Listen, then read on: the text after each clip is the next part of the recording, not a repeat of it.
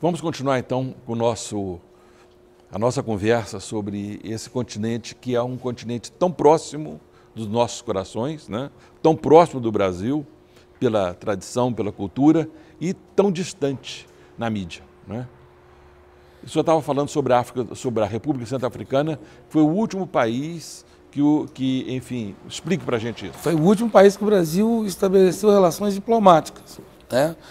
É, então, é, tem essa peculiaridade. Embora desde 1983 já se, já se discutisse lá no Itamaraty a, a, a definição de uma. A, do estabelecimento de uma relação diplomática direta, a coisa foi se enrolando, foi sendo adiada, adiada, e finalmente vai acontecer apenas em 2010. Né? E agora, nesse momento, a República Centro-Africana vive esse momento terrível da guerra, da guerra civil. E, eles, e, e os, os, os, os, habitantes, é um país é, que tem uma densidade demográfica muito baixa, menos de 5 milhões de habitantes. A capital tem aproximadamente 600 mil habitantes. 70, quase 70% do país vive abaixo da linha de pobreza, é um país repleto de miséria que precisa de ajuda internacional. O Brasil tem até um plano que envolve a República Centro-Africana numa cooperação com, uh, no campo da agricultura para, é, para a, a, o cultivo do algodão. Mas a coisa ainda não fluiu, não, é, não avançou. O Brasil tem aí é, a Embrapa, a empresa brasileira de pesquisa agropecuária, ou seja, inclusive é um, um nosso cartão, uma nossa chave para entrar é, é, numa política de boa vizinhança com os países africanos. Mas nós temos também aí os países de língua portuguesa inclusive potências petrolíferas como Angola.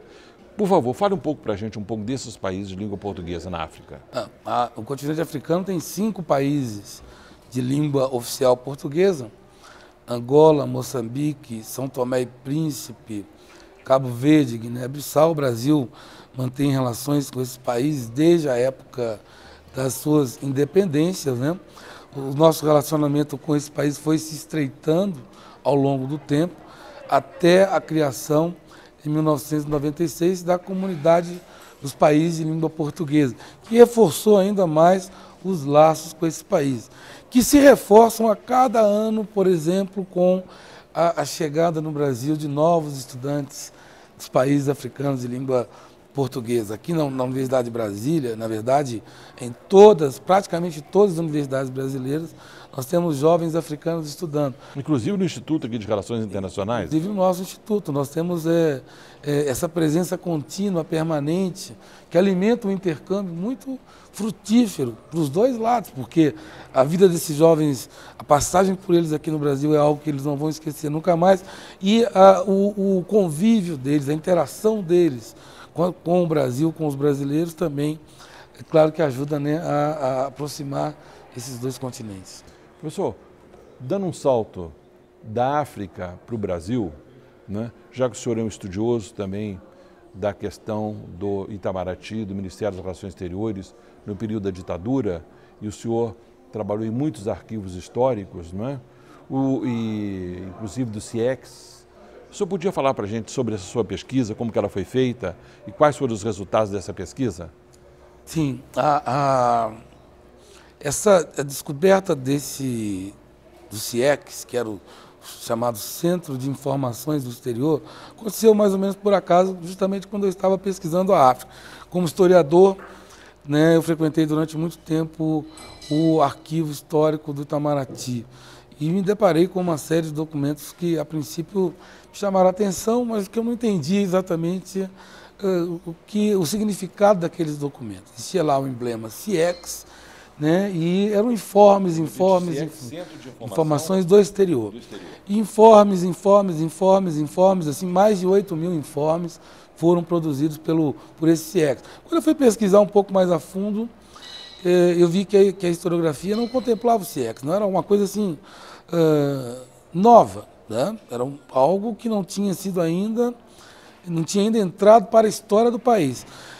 Investiga daqui, investiga dali, uh, eu fui descobrindo devagarzinho as raízes e as funções desse centro.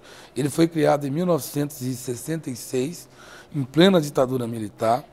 Foi, foi criado numa associação entre o Itamaraty e o antigo Serviço Nacional de Informações.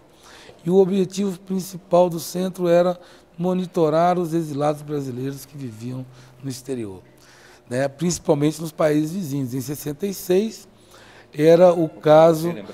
Monitorar, ou seja, a ditadura monitorando os brasileiros que estavam no exterior. Né? Europa e outros países vizinhos, enfim. No começo, nos países vizinhos, porque o centro nervoso era o Uruguai. Foi para o Uruguai que o, o, o Brizola se, se, asilou, o Jango se asilou, e com eles um secto, né, um grupo de, de seguidores, a proximidade geográfica, a tradição da fronteira. Muita gente atravessou a fronteira do Uruguai e se estabeleceu em Montevideo e outras cidades uruguaias.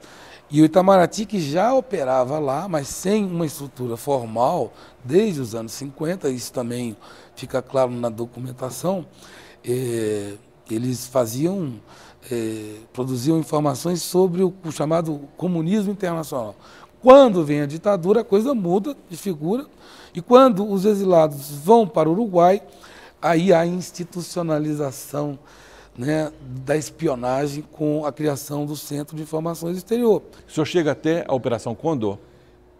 Passa a Operação Condor e vai até, creia-me, a, a, abertura. Até o governo Sarney passou a ser investigado pelo próprio CIEX quando o, o governo, é, o governo não, o próprio Itamaraty resolve extinguir o CIEX né? e o SNI também já estava em vias de reestruturação. Mas então o centro durou de 1966 até 1986. Até 1986. Sim, né? Ou seja, em pleno processo de democratização. Democratização estavam lá uh, uh, os espiões atuando no próprio Ministério das Relações Exteriores. E o curioso é que uma parte importante era, era formada por diplomatas. É claro que nós não podemos dizer que o Itamaraty inteiro estava comprometido com, com, com a ditadura, mas uma parte deles sim estava comprometida. Isso quebra um mito de que o Itamaraty te, te, teria passado incólume pela ditadura, não é bem verdade. Né?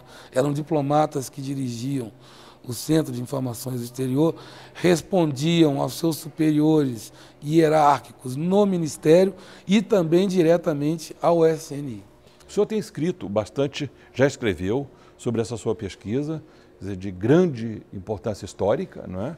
porque mostra um capítulo muito pouco falado. Onde está, em que livro que o nosso telespectador pode encontrar é, essa história da participação do Itamaraty na ditadura brasileira? É, na verdade, eu publiquei um artigo, alguns artigos de opinião, e o livro é, está no prelo. O livro tem, deve sair, deve não, sairá certamente esse ano, que é justamente um estudo sobre geral sobre a atuação do Centro de Informações Exterior. Porque ele, ele tem uma longa trajetória. Começa aqui no Cone Sul, né, onde existiam exilados brasileiros em quantidade razoável, o centro se estabelecia. Então, nós tivemos atuação do centro no Uruguai, depois o centro atuou com muita intensidade no Chile, Chile. durante a época do Salvador Allende, depois na Argentina e, por último, em Portugal. Existiam informes também provenientes de várias outras embaixadas, mas não né, numa estrutura do, que, que, do centro.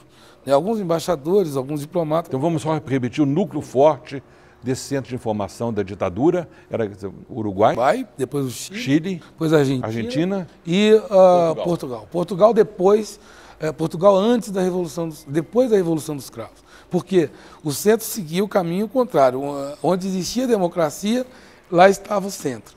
Né? Quando, por exemplo, no Paraguai não teve necessidade nenhuma do centro, porque já era uma ditadura desde 54. Na, é, na Bolívia já era uma ditadura também desde 64. Quando houve o golpe no Chile, cessou a atividade porque não tinha sentido. A mesma coisa aconteceu no Uruguai, que foi no mesmo ano de 73. Aí depois ele passou a operar na Argentina até a ditadura em 76 e em Portugal, quando aconteceu a Revolução dos Cravos e parte dos exilados brasileiros migrou para Portugal. Então era uma, era uma atividade assim, de perseguição, de monitoramento, de, de deduragem, né, que trazia consequências. Isso é importante. Porque... Muito obrigado não é, por mostrar esse capítulo, um capítulo trágico da nossa história, um capítulo pouco estudado. E no próximo bloco nós vamos continuar ainda um falando sobre o CIEX e das suas experiências nas universidades onde o senhor foi professor, Universidade de São Paulo e a Universidade Federal do Mato Grosso.